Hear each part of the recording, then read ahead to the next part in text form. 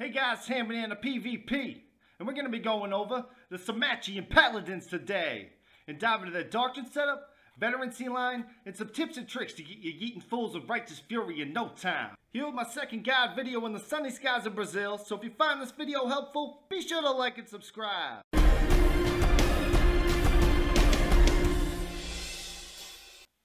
Alright, so this is a doctrine setup using these guys.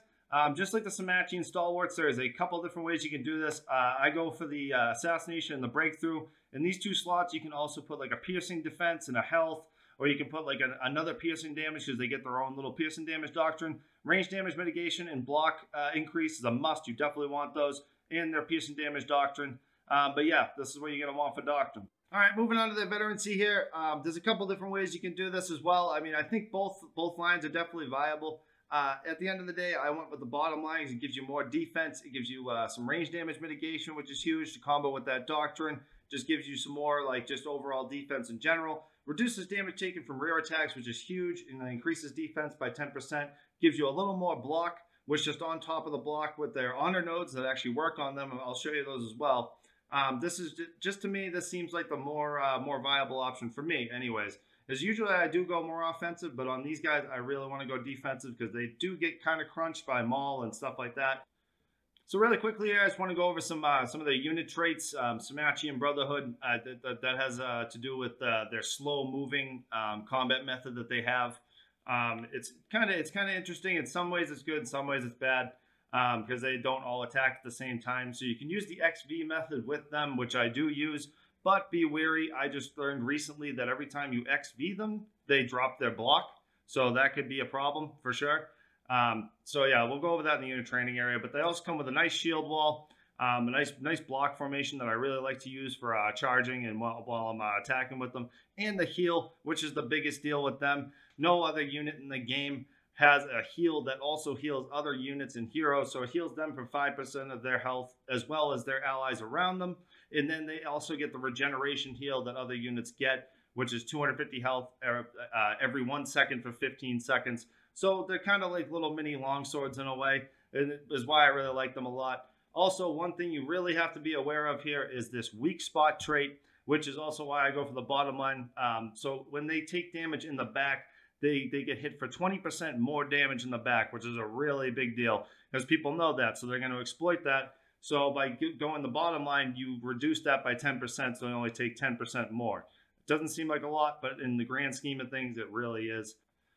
Really quickly, before we get into the training area here, I'm just going to show you their honor nodes, which do work on them. So these are the new upgraded version of the Men-at-Arms, or the old Men-at-Arms we know. Um, so they get a potential of 10% extra uh, slashing defense and uh, uh, piercing defense. They also get 25% more block, which is huge.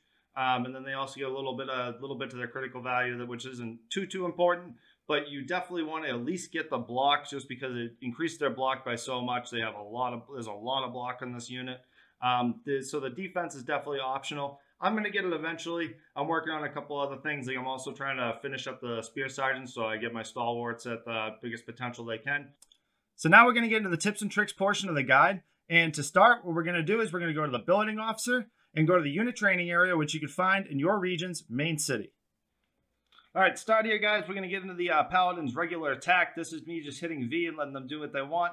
In certain situations on this unit, this is actually better if there's a lot going on, a lot of enemies, because when you XV them, like I said before, they drop their block, which they can take a lot of unnecessary damage. But as you can see, if they you just hit V with them, uh, the unit takes a while to die, but your unit also doesn't take a lot of damage, so you kind of get to judge for yourself which one you do in certain situations.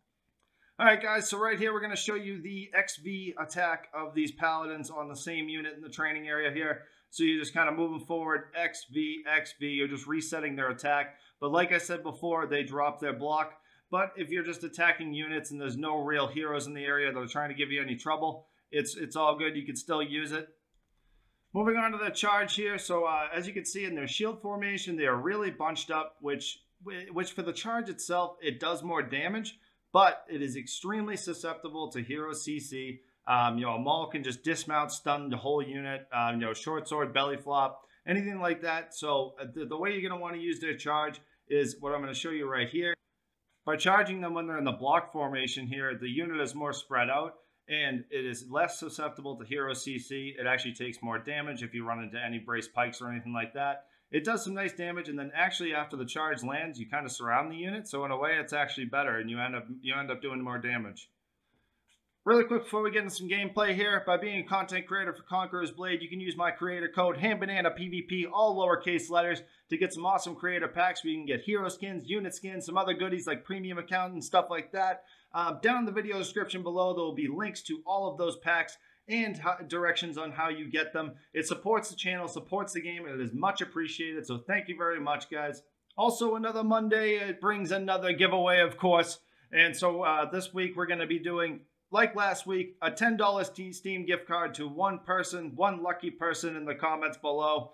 Um, and like last week, we are going to keep this uh, similar format where you're going to have to put two codes in the comments below with your original comment. If you want to say something nice about the video, I would really appreciate it.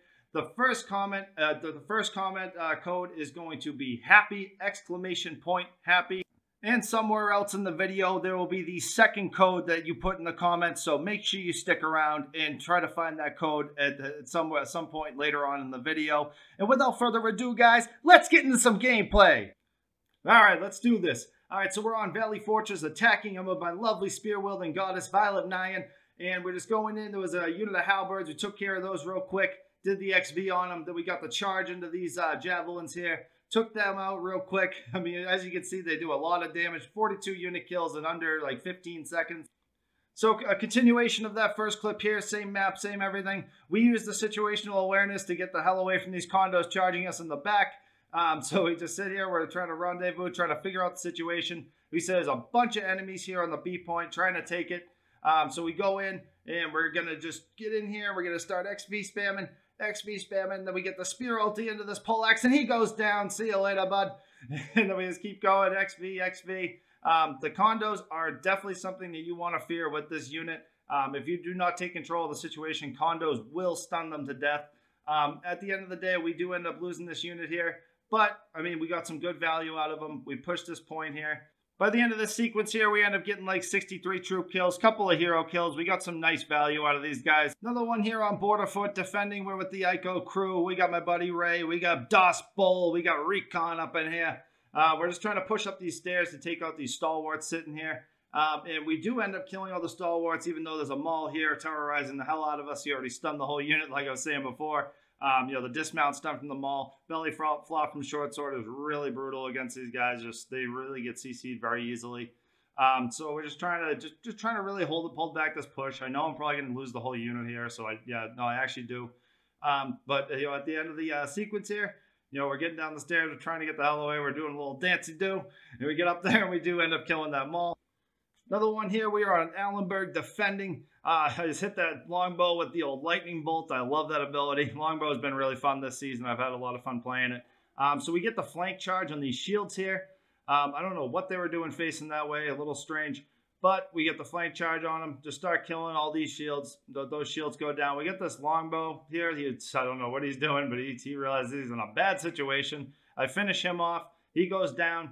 And then uh, we're just kind of analyzing the situation, trying to figure out what to do. We have another unit of uh, of uh, Symmachean Paladins here with a Maul. Uh, so we're, we're sitting here, we're like, oh, that's a kind of a bad situation. But uh, our, our, homies come in. We got the Ico crew here. Emperor Poe comes in with the Maul grab, scoops him up, and he goes down. Another one here. We got Riverlands defending. I'm actually solo queuing in this one, and I got the poleaxe probably because I was just getting bored and my weapon diarrhea kicked in, and I wanted to play some poleaxe. so this is what I do here. I'm charging down the stairs. This Nodachi. There's also a short sword here, so I got a little nervous, but our, our uh, dual blade friend here ulted him, and I also hit him with the poleaxe ult at the same time, so he goes down. Just XV spamming the rest of this shield wall here. Shield wall goes down. This uh, next little fight here, I probably shouldn't have picked. I mean, I got another 30 unit kills or so here, but um, there was a lot of enemies coming up. But, you know, me being the yeet that I am, I just, I was yeeted right in there and I end up losing the whole unit. But, I mean, within like, you know, 30 seconds or so, we got a, you know, a hero kill. Um, you know, we, we really disrupted the situation, disrupted the whole push, and we ended up getting like 72 unit kills, which wasn't too bad. Next one here, we're on Allenberg attacking, solo queuing with the glaive here. We get in on this Maul, we take care of him real quick. Um, we get a whole unit of condos, but now they don't have any uh, any controller. So we know that they're okay to go up on. Um, we get a spear here. I believe this is actually my buddy Feng Tian. Shout out to Venomilk, Love you guys. Um, so yeah, we take care of him real quick. And then we're gonna move up here. We got a Maul. Uh, we got some Kriegsrats. The Maul is uh, he's, he's thinking he's gonna he's gonna bone breaker our unit to death. One good thing about this unit, if you get him with the XV on the heroes there, it really does a lot of damage. Take care of units quick. Um, there's another unit of Pike Militia that dual blade dips out of there. One thing I really love about Glaive is that I can just go into a unit of archers like this and just take them out by myself. Don't even need the unit. Um, Glaive's a really nice weapon. I'm having a lot of fun playing it. So we go down here to the A point because we're trying to take that just to seal this up so we can start the home point push. We got a unit of shields here. I don't know if that, I think that's Iron Cap spears, um, which uh, you know obviously not as good as the Imperial spears, but a tanky unit nonetheless. Um, we take care of them really quick. We end up having like 22 units left with 71 unit kills. That's really good for this unit. Another one, guys, here on Harbor City attacking. Um, we ju had just taken the eight point, so we're trying to clean up the rest of these units up here. After you take the eight point, it's a really good idea to just really try to lay into the enemy so that they can't retreat to supply point. We get a hero kill there. XV spam, and uh, I think we get like, you know, 40, 50 unit kills here in a second. And then, of course, the friendly Treb comes in and completely ruins my clip but it's okay. We're used to it. I'm sure you guys know from uh, watching some of my other videos. This happens quite often. Guys, if you made it this far, thank you so much for watching. I had so much fun making this video. Um, and right here, I'm going to give you the second code for the giveaway, which is going to be holidays, because I wish you guys a happy holidays. Thank you so much for supporting the channel. I encourage y'all to join my Discord. A link will be down below in the video description. And if you found this video helpful, be sure to like and subscribe. We're going to be making a hell of a lot more of these in the future. Thank you, people. I love you. Have a good one.